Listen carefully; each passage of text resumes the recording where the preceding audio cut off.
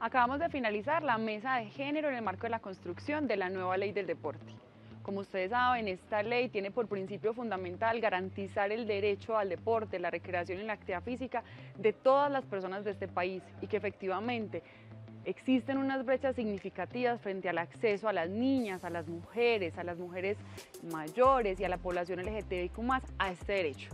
Las principales conclusiones de esta mesa, primero, es fundamental que a partir de la nueva ley se den mecanismos que permitan al Ministerio del Deporte tener acciones de inspección, vigilancia y control fuertes, contundentes frente a los casos de violencias basadas en género en el sector.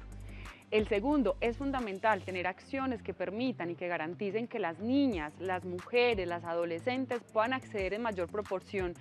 a estos servicios sociales, así como la población LGTBIQ+. Para esto es fundamental también que sea una transformación cultural a través de la eliminación de estereotipos, los hombres como aliados y los medios de comunicación como aliados. Otro de los asuntos que se tocó fuertemente en esta mesa es fundamental continuar con procesos formativos con enfoque de género que comprendan las realidades, las diferencias, las diversidades de las personas en el territorio desde la escuela, desde la iniciación deportiva, desde la formación, también al interior de los clubes, de las ligas y de las federaciones.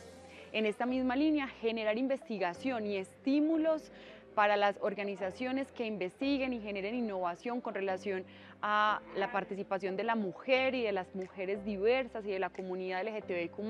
en el deporte.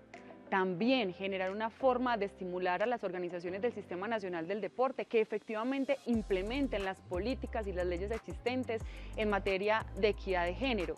Otro asunto bien importante que, se mencionó fue la participación de las mujeres en sus diferencias y diversidades en cargos de liderazgo al interior de los organismos de derecho privado en el Sistema Nacional del Deporte. Mujeres sensibles, conocedoras y que entiendan el rol y la necesidad de tener acciones afirmativas para cerrar brechas de género.